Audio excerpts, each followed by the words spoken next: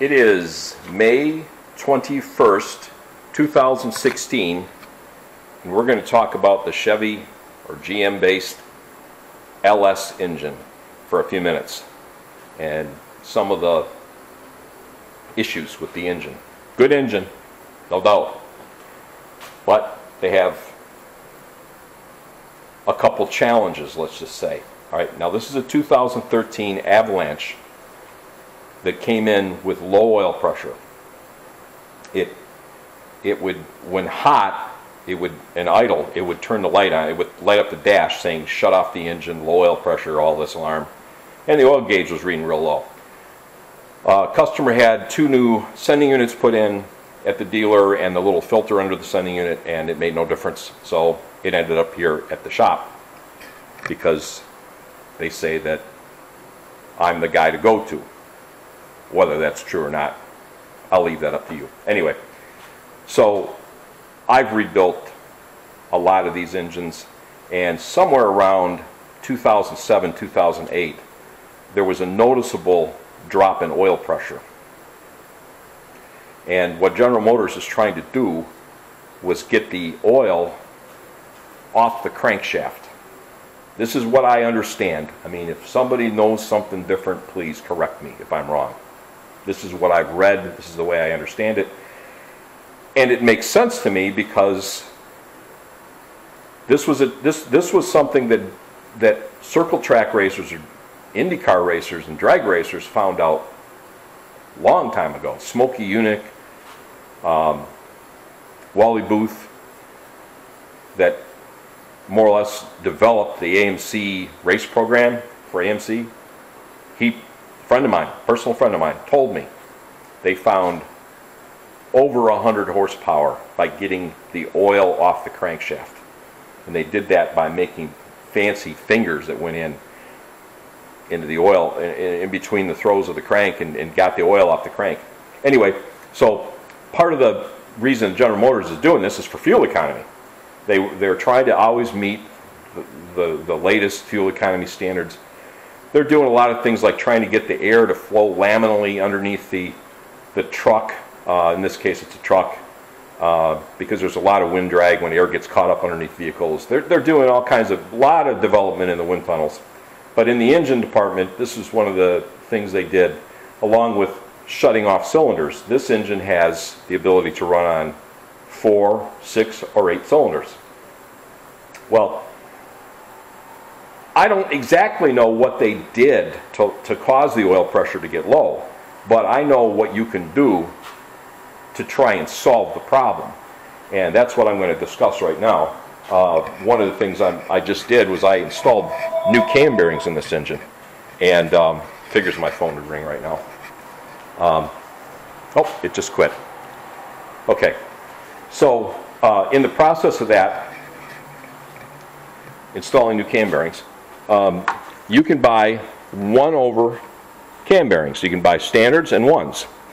So what I did was I bought, and what I do on these engines is I buy one over, meaning they are thicker by a half a thousandth per side going in, not on the outside, but on the inside, so they fit the cam tighter.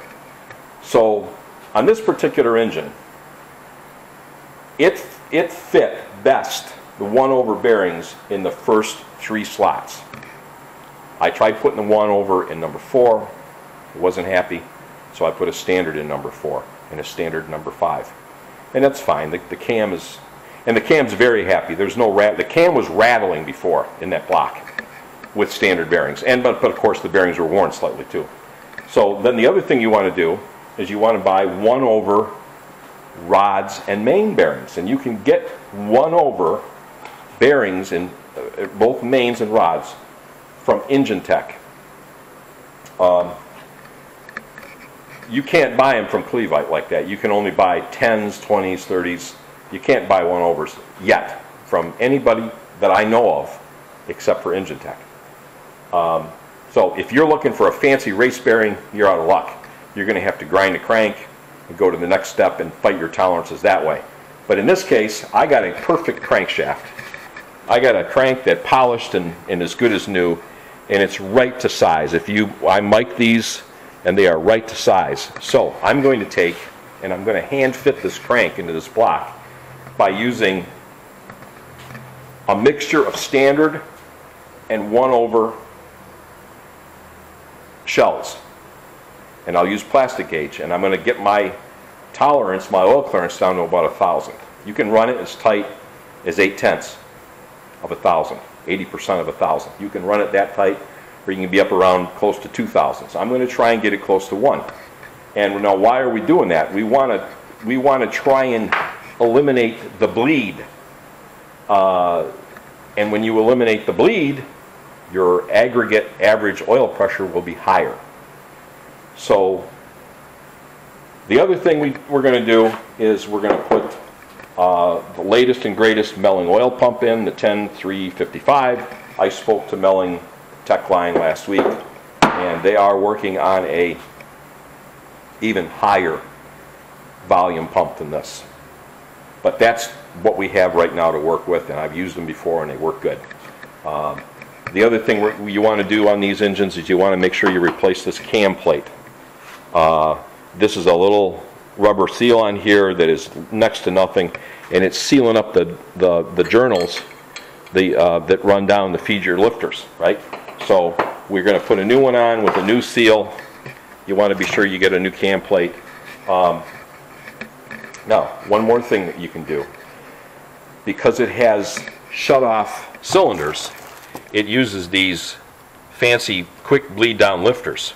And it uses them on four of the eight cylinders. This customer has already done a computer flash that disables the cylinder deactivation. No longer, it runs on eight cylinders all the time. So, if your customer or if your vehicle, if it's your personal vehicle and you've done this type of shutoff, you can then replace those active, active lifters with standard lifters. And that is going to reduce the bleed. Uh, this customer has decided not to take that avenue. We're going to run the original active lifters. We're not going to replace them because there was no metal in this engine. Uh, and they're expensive. Oh man, I bought them before. You got to get them. I mean, I buy them from the dealer. You can get them aftermarket and take your chances if you want. I only put in GM original parts on, when it comes to active lifters on these LS engines. Uh, because there's so much work. If, if one fails, you got to pull the heads to get to them. Anyway, um, he has decided not to go that route. We're going to leave the active lifters in there and see what we get. I'm sure it'll be fine. The other thing you want to do is you want to replace this. This is your active cylinder management solenoid. Um, they are th- this gasket. Okay, every one of these, every one of these holes is a potential leak area. Your main oil pressure comes back, comes up in the back here on this main on this main hole, and that's where your oil pressure sending unit threads in. And then it travels like through a valve body through here, and each one of these is a seal holding back full oil pressure all the time. Well, those are all potential bleed areas, and this is just a rubber gasket that definitely is flattened out, you know, from age. Okay, it's whatever, 13, so it's six years old, uh, a little over 100,000 miles, and it's and it's flattened right out. So I replaced this whole assembly, and uh, they say you can buy the gasket separately, um, but it's not. It's it, it. These things aren't that much money. I just replaced the whole thing. And the other thing I'll mention to you is, okay, I, I put real high-end rings on these engines. I don't know if it's really necessary, but I use the best moly rings. You don't have to, it doesn't have to be moly, it can be other ones, but I put in um, moly rings. And the other thing I want to mention to you is just use GM gaskets. Don't don't mess around. These don't cost any more. The original equipment General Motors gaskets don't cost any more than the aftermarket. There's your factory head gaskets. They, they don't cost any more than the, than the than the aftermarket, and you'll never have a problem if you use the original equipment General Motors gaskets. I've never had a leak issue on an LS when I was done. So those are the areas that uh, I wanted to discuss. I mean, there's a lot more that can be said about this engine. A lot of good can be said about this engine. It's a, it's a darn fine engine. I mean, it cross-bolted main caps. It's strong. Um, there are some downsides to the engine, in my opinion, especially if you live in a humid climate. We're in Michigan here, and if you don't run this engine hard and get it get it hot, they build sludge. And uh, in fact, I can show you a picture of one that I took apart that built a ton of sludge, and it was coming off the timing cover. I'm sorry, I should have had this photo ready. Um, let me see if I can find it real quick. So what happens is um, the humidity, you, you know, you've got the inside of this engine is a cavern, and the air comes in and out of it through the vent, through the ventilation system. And our moisture in, in Michigan, especially, and any you know really northern climate, where where it's damp on the humidity, uh, you know, east of the Mississippi, you have um, you have uh, a lot of air, a lot of humidity in the air, right? Well, um, I'm not going to find this uh, picture, I don't believe. So, but anyway, the humidity ends up condensing on the inside of the uh, engine, and if you don't get it hot enough, uh, if you don't run it hot enough, there it is, um, it will do this, okay? Here's the timing cover.